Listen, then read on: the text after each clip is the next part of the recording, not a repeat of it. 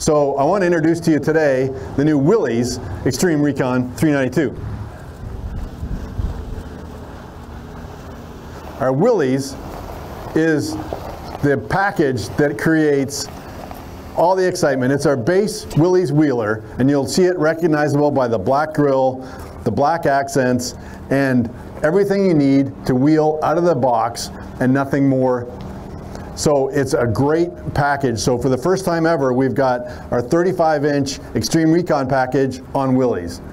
To put it in perspective, this is a $39,435 Jeep.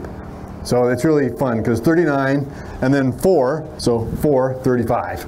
So you'll be able to remember that, uh, that number pretty easily. But the nice thing is, is you can right out of the box buy this uh, from the factory with 35s. It comes with a one and a half inch lift, BFG KO2 tires, 35 inch uh, tall as you'd expect, 17 inch uh, beadlock capable wheels, and uh, um, amazing ground clearance. 11 inches of ground clearance and uh, comes with skid plates, uh, tow hooks, the, uh, uh, the rock guards, and this thing is uh, ready to wheel.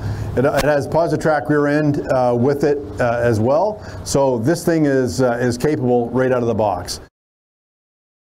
you know, in 1941, we've had a lot of Wrangler news.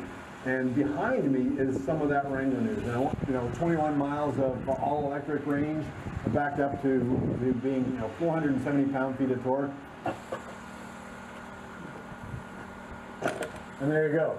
So now, back to open air freedom. So whether it's the power top or the flip top,